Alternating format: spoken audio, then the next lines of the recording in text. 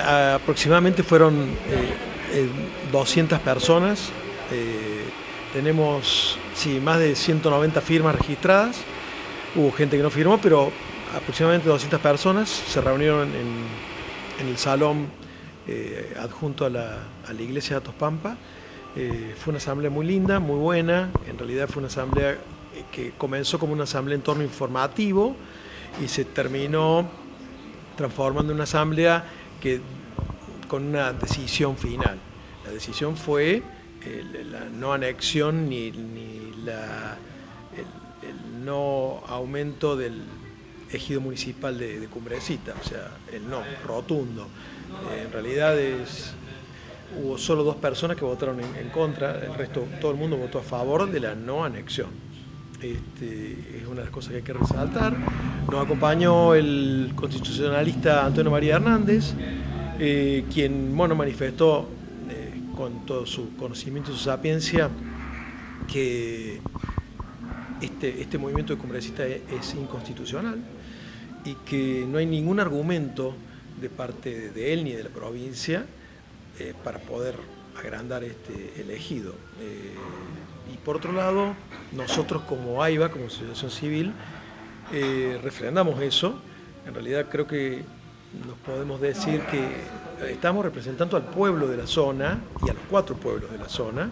Había gente de todos los estratos sociales. Hago hincapié en esto porque el señor López, en, una nota que hizo, dijo que éramos solamente gente de 4x4 y que la gente de a pie no estaba. Y bueno, había gente de, a pie y gente de 4x4 y gente en su, en, su caballo, o sea, gente, toda la gente del lugar. Incluso, inclusive eh, hubo gente de Cumbrecita que nos acompañó eh, en la asamblea y bueno, el resultado fue este, fue una asamblea que se, hizo de forma muy armoniosa, muy pacífica, cada uno pudo exponer sus ideas, tanto a favor como en contra. Eh, hubo dos personas que, manifestaron que les parecía bien lo que la gestión que estaba haciendo López y bueno, la gran mayoría hizo su aporte diciendo que en realidad no brinda ningún servicio que los servicios que brinda a la escuela eh, en realidad lo único que hace es llevar dinero, pero no, brinda ningún servicio.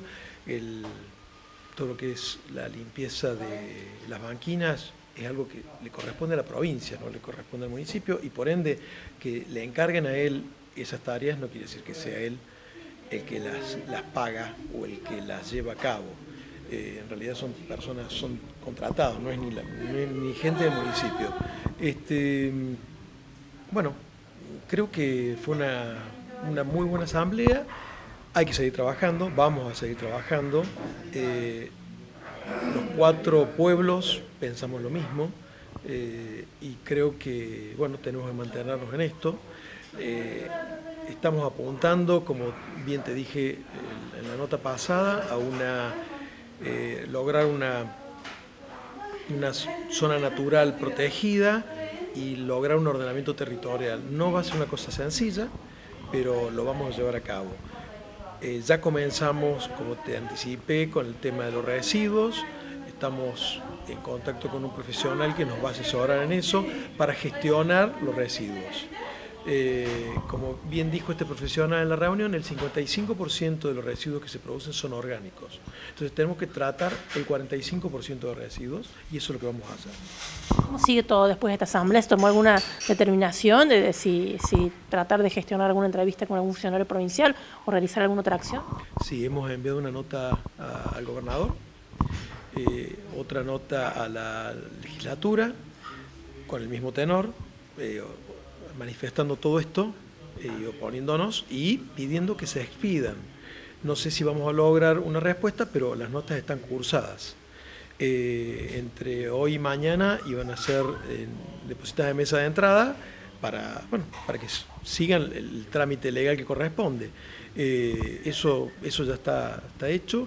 Em, nos, bueno, eh, el, constitucionalista por su lado iba a hacer las gestiones en el bloque de, creo que Cambiemos, al que está, con el que está ligado políticamente para que en la legislatura se trate ese tema. ¿Habías pedido el bloque de Cambiemos cuando tomó conocimiento de esta situación eh, en contra de, de la anexión? Ah, cierto, tenés razón. Este, o sea que, eh, bueno, tenemos que seguir trabajando. Eh, hay que, quiero aclarar que esto eh, es una representación del pueblo y de los, de los, cuatro pueblos y de la zona, que no es política, que no, no, no estamos buscando un rédito político en lo absoluto. En realidad lo que queremos es mantener el ambiente tal cual estaba, tal cual lo conocimos cuando éramos chicos y que, que siga así. Y que yo creo y que creemos que puede seguir así eh, si nos manejamos ordenadamente, si trabajamos en pos de la comunidad. Y bueno, es una tarea difícil, es una tarea lenta, pero se puede llevar a cabo.